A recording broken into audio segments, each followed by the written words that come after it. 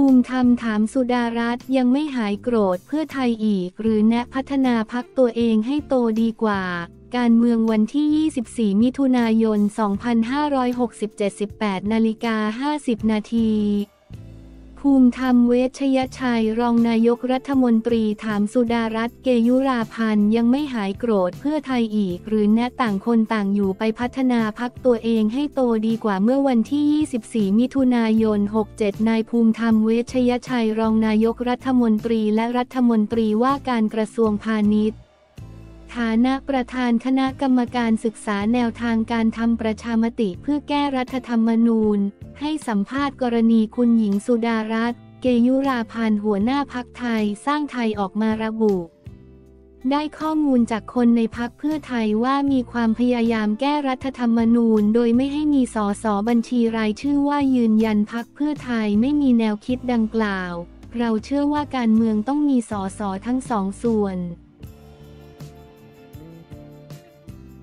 สสเขตต้องทำงานใกล้ชิด ประชาชนเพื่อรับฟังปัญหาแล้วหาแนวทางแก้ปัญหาให้เขาสสบัญชีรายชื่อต้องอยู่ส่วนกลางคอยคิดนโยบาย หาแนวทางทำให้ชีวิตประชาชนดีขึ้น นี่คือปรัชญาของพรรคเพื่อไทย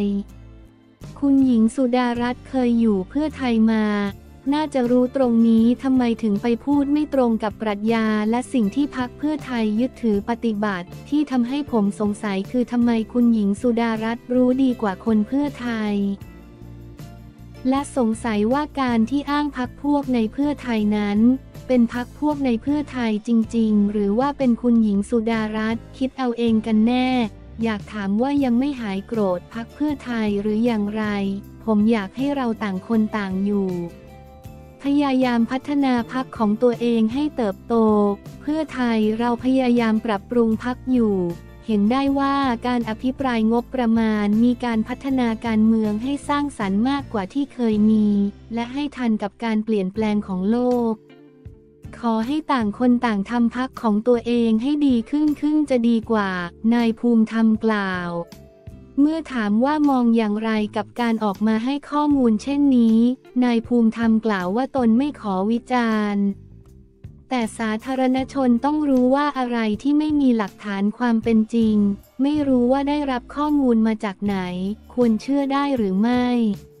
ขอให้มาร่วมทำการเมืองอย่างสร้างสรรค์กันดีกว่า อยากให้ทำงานของพรรคตัวเองให้เติบโต พื่อสร้างประชาธิปไตยมาแก้ไขปัญหาให้ประชาชน ดีกว่ามาดิสเครดิตอยากชวนให้มาสร้างคุณค่าที่ดีงาม ไม่ใช่มาคะคานคนอื่นโดยไม่อิงข้อเท็จจริง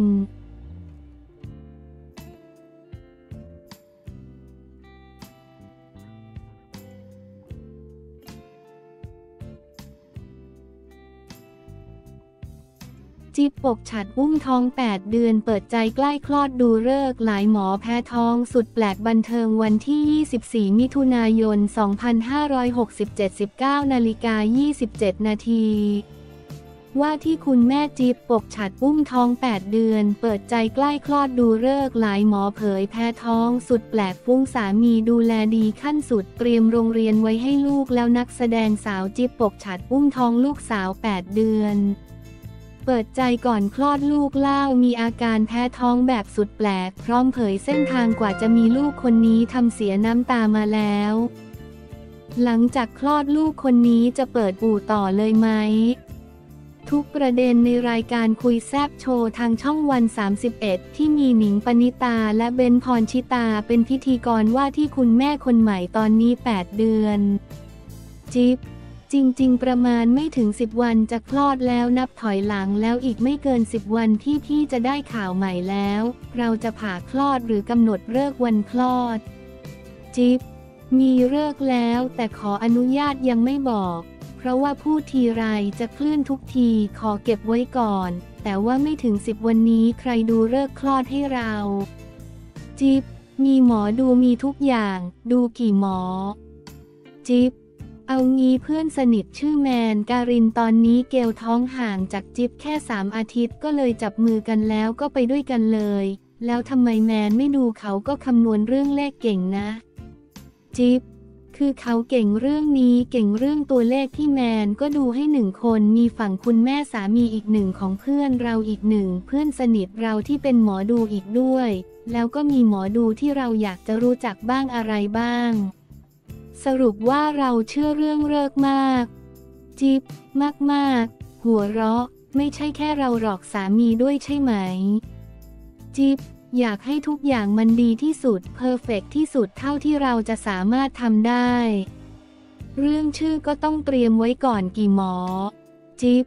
ชื่อก็มีเตรียมไว้แล้ว ชื่อต้องดูอย่างวันจันทร์เขาห้ามสัก อันนี้ชื่อจริงชื่อเล่นมีตั้งแต่แรกแล้ว ชื่อจริงก็หลายหมอเหมือนกัน เราไม่รู้ว่าเขาจะเกิดวันไหน เรายังไม่รู้เลยว่าวันที่เราเล็งเอาไว้ไม่รู้จะได้ด้วยหรือเปล่า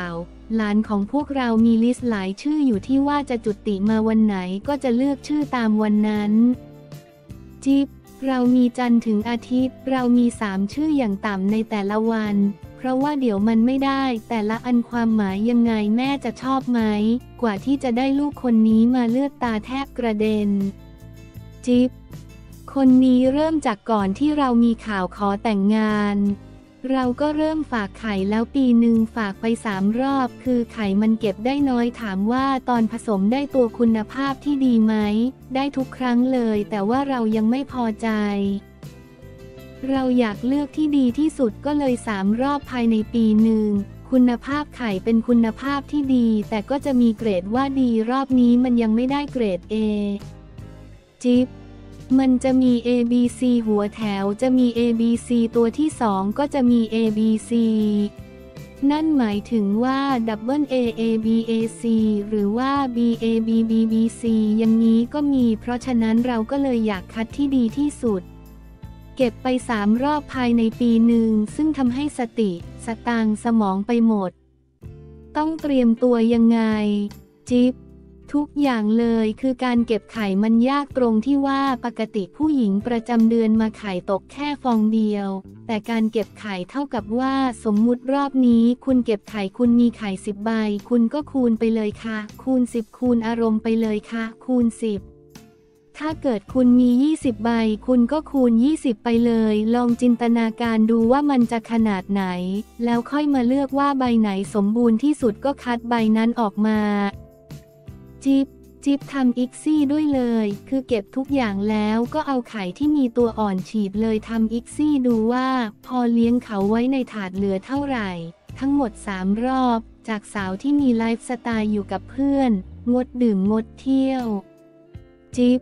ทุกอย่างก็คือจริงจังจิ๊บต้องเสียสละเพื่อเบบีเหมือนกัน เพราะที่ผ่านมาเราก็ใช้ชีวิตคุ้มมากๆแล้วก็คือพูดกับตัวเองอย่างนี้ตลอดว่าเราเคยคุ้มแล้วนะ ตอนนี้ก็ทำเพื่อลูกบ้างทำเพื่ออนาคตครอบครัวเราบ้าง พักทุกอย่างเลย เครียดไหม จิ๊บ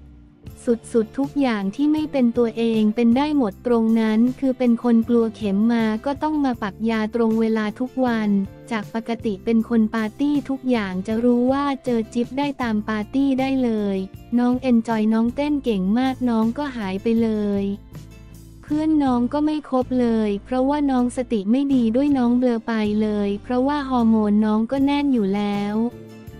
ไข่น้องก็เยอะน้องก็เบลอไปเลย แล้วน้องก็มาออกรายการนี้ด้วยหลังจากเก็บไข่เสร็จ วิ่งหนีกระสุนปืนไงที่สติไม่มีเลยนั่นแหละ เลยพาเพื่อนกระเทยไปเดินช้อปปิ้ง เป็นไงล่ะวิ่งหนีกระสุน สุดท้ายแล้วเกิดอะไรขึ้น จิ๊บหลุดค่ะพีกสุดดวงน่าจะไม่ได้ลูกแฝดแหละ ตอนแรกจะใส่แฝดชายหญิงดวงไม่น่าจะได้ลูกแฝดเลยหลุด น้องก็เลยไม่เอานะบายบายสภาพข้างในเห็นบอกว่าดิ่งเลย จิ๊บละเลยกลับไปใช้ชีวิตเหมือนเดิม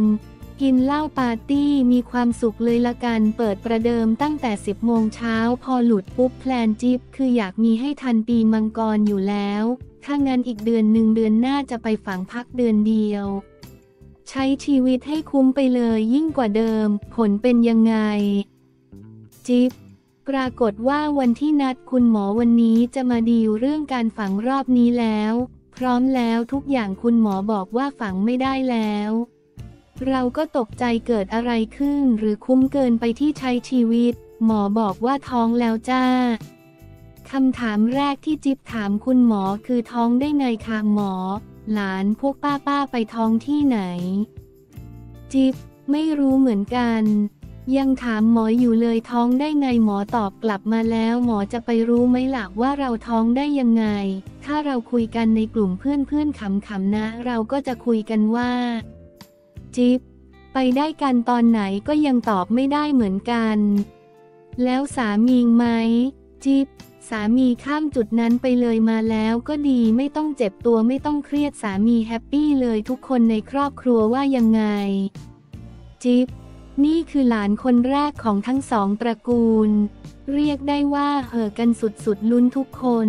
รักษาเบบีที่มีอยู่ระหว่างทางยังไงบ้าง จิ๊บ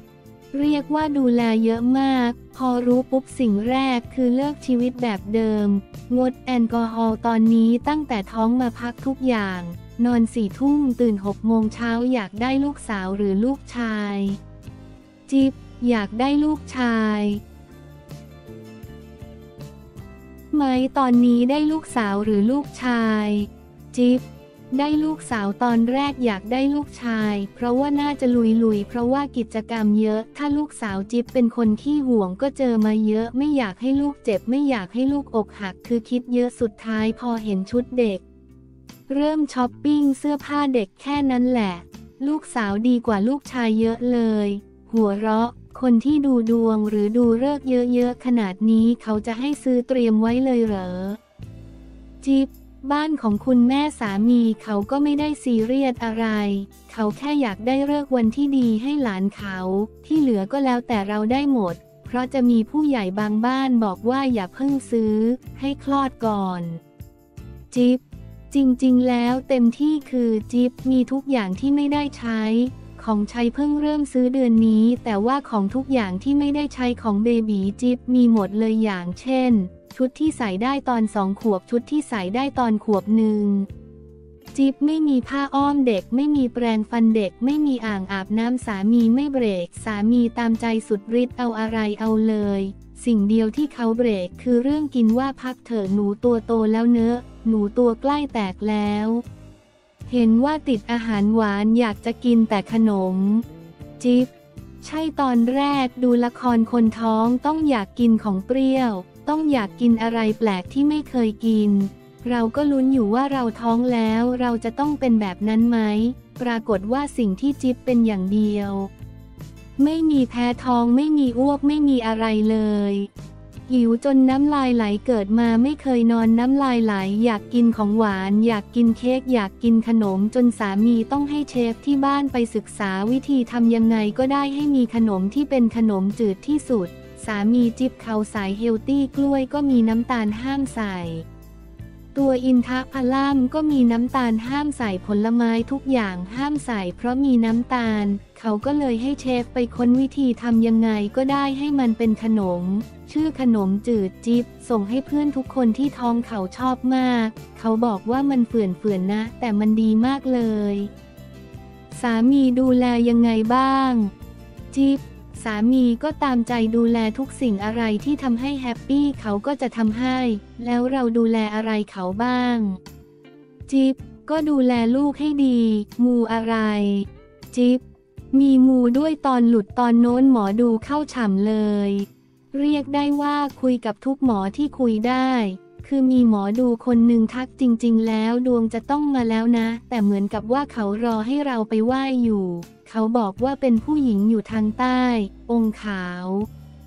เขาบอกว่าเขาพูดแค่นี้เดี๋ยวจิ๊บจะรู้ พูดแล้วยังขนลุกอยู่ พอบอกเป็นผู้หญิงทางใต้จิ๊บคิดเลยภูเก็ต ภูเก็ตเนี่ยเป็นอะไรที่ดวงเหมือนลิงก์กับจิ๊บไปตลอด ภูเก็ต แน่นอนองค์ผู้หญิงเจ้าแม่กวนอิมแน่นอน ปกติภูเก็ตจะดังองค์ดำแต่จริงๆ มีองค์ขาวที่ริมทะเลแล้วก็ฮวงจุ้ยเดียวกับที่ฮ่องกง ก็เลยไปไหว้องค์นั้นไหว้เสร็จก็ไปเที่ยวทะเลกับสามี พอกลับมาก็รู้ว่าติดเลยธรรมชาติ พูดถึงสามีหน่อยทะเลาะกันบ้างไหม จิ๊บ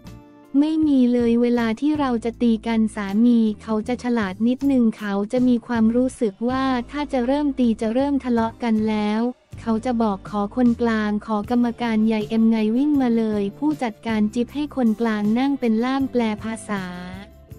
จะได้สื่อสารกันได้ว่าความตั้งใจคืออะไร คือเรื่องอะไรคำพูดเธอแบบนี้ความหมายคืออะไร ก็ให้เอ็มแปลงสารเป็นกรรมการคอย balance ให้ก็เลยไม่ตีกันเลย เขามีวิธีรับมือเหมือนผู้บริหาร คุยไม่รู้เรื่องก็เอาคนกลาง หรือถ้าเกิดอะไรก็เอาด้วยเหตุผลเป้าหมายเป็นหลัก ก่อนแต่งงานมีอยู่ข่าวหนึ่งว่าเราตัดสินใจแต่งงานเร็วไปไหม อยากจะบอกอะไรกับคนที่คอมเมนต์ไว้ก่อนหน้านี้ จิ๊บ ถ้าใช่ก็คือใช่ มันไม่เกี่ยวกับระยะเวลาเลย พูดกับเพื่อนว่าเพิ่งเข้าใจตอนเจอเขาคำว่าใช่มันคืออะไร คือเราไม่ต้องพยายามเราไม่ต้องปรับตัวเอง เราจะเป็นอะไรก็ได้ เขาจะมองเราหน้าเอ็นดูทั้ง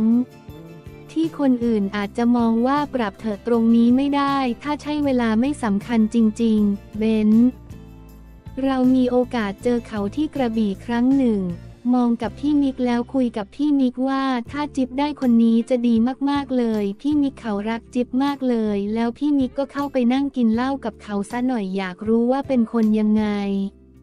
พอไปนั่งคุยกันเสร็จบอกว่าถ้ามันได้คนนี้จริง ๆ ดีมากเลย พอมันประกาศแต่งงานนะ กรีดอย่างกับเป็นลูกสาวตัวเอง จิ๊บ พี่เบนเคยเจอตอนจีบกันใหม่ๆเลย ตอนซุ่มเดทกันอยู่เดทแรกแรกเลย หาโรงเรียนตั้งแต่ท้องลูกได้สามเดือน จิ๊บท้องสามเดือนปุ๊บพอน้องสาวรู้ว่าจิ๊บท้องเราก็บอกน้องว่า ไหนๆก็จะมีหลานแล้วเราทำงานเป็นกลุ่มกันเนอะเธอเก่งเธอฉลาดเธอช่วยดูการศึกษาให้หลานด้วย เขาก็เลยไปทำการบ้านหาโรงเรียนให้ แล้วพาจิ๊บกับสามีไปดูโรงเรียนใกล้บ้านมาก เป็นเนิร์สเซอรี่น่ารักมาก concept ดีมากจิ๊บไปตอนจิ๊บท้องสามเดือน เมื่อต้นปีที่ผ่านมาปีหน้าว่างห้าที่แล้ว baby จิ๊บจะเข้าปีถัดไป เขาเปิดยัง เขาบอกว่ายังไม่เปิดค่ะ ทีนี้สามีจิ๊บก็ถาม เพราะชอบโรงเรียนนี้ เขาอยากให้เข้าตรงนี้จริง ๆ เขาก็เลยถามว่าเท่าไหร่ครับ ก็เลยจบมีที่เรียนตั้งแต่ 3 เดือนเลย ต่อมา 6 เดือนมีอะไร จิ๊บไม่ถึง 6 เดือนดีด้วยแค่ประกาศว่าท้องปุ๊บมีเลย พี่เลี้ยงตกทอด พี่หวานแฟนพี่เดไทเท แก๊งเดียวกันเลย เขาถามว่ามีพี่เลี้ยงยังพี่มีพี่เลี้ยงตกทอดมาเลย ประวัติคือเลี้ยงมาตั้งแต่บ้าน A บ้าน B บ้าน C แต่แค่วัยศูนย์ถึงหนึ่งนะหนึ่งปุ๊บต้องไปหาคนใหม่นะ พอเขาส่งมาก็เอาซีอาเลยเลยได้พี่เลี้ยงเลย ไข่ยังเก็บไว้เยอะอยู่น่าจะมีคนที่สองจิ๊บคิดว่าถ้าคนนี้ผ่านไปน่าจะมีอีกคนหนึ่งเลี้ยงคนเดียวมันเหงาเลี้ยงเป็นคู่ดีกว่า รอบสองใช้วิทยาศาสตร์ จิ๊บใช้วิทยาศาสตร์อยู่แล้วค่ะ